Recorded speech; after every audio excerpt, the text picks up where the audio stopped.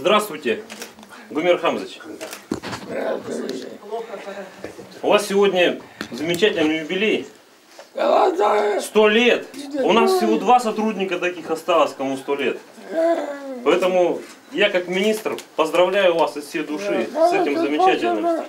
У Гомера Ярмухаметова, ветерана Великой Отечественной войны, ветерана милиции, сегодня самый большой юбилей. Ему исполнилось 100 лет. Поздравить Гумера Хамзича первым приехал министр внутренних дел республики генерал Михаил Закамалдин. Глава МВД пожелал ветерану здоровья и вручил памятный подарок.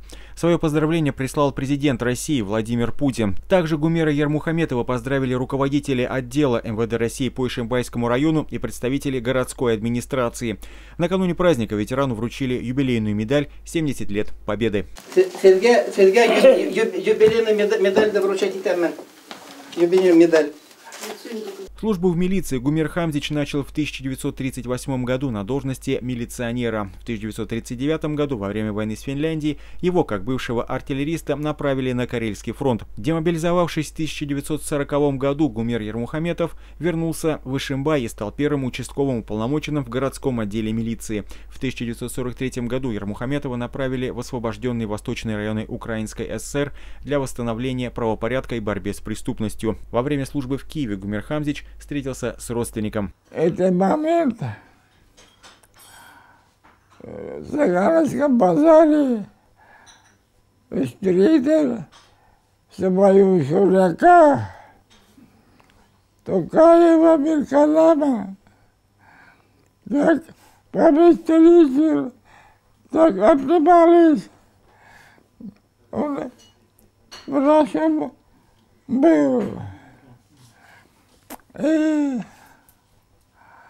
Мираун, как видел, не знаю, откуда знал. В мае 1945 года вернулся в город Ишимбай для дальнейшего прохождения службы в милиции. Даже после войны ему пришлось пережить ранение. Они ловили, бегали за ними, за лицами этими. Были такие. Стреляли в ногу какую-то, ну, ранили его.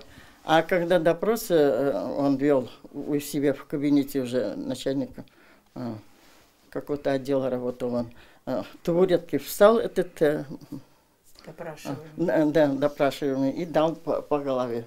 Он ранили тоже. Гумер Хамзич вышел на пенсию в 1966 году с должности заместителя начальника Ишимбайского городского отдела милиции.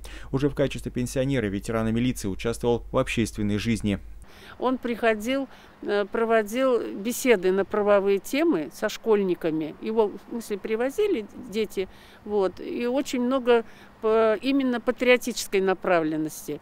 Когда э, народных дружинах, ну, созданные были тогда народные дружины, он принимал самое непосредственное участие в этой работе дружинах. И был закреплен за молодыми сотрудниками. Вот именно обучал их навыкам э, милицейской службы. За свои заслуги Гумер Ермухаметов награжден государственными наградами, орденом Красной Звезды, медалью за боевые заслуги.